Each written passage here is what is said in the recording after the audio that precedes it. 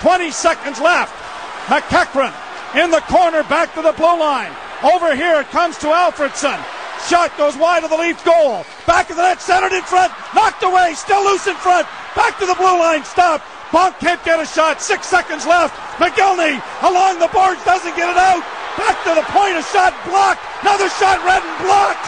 Another chance. Game over. Game over. Bless you, boys. What a game.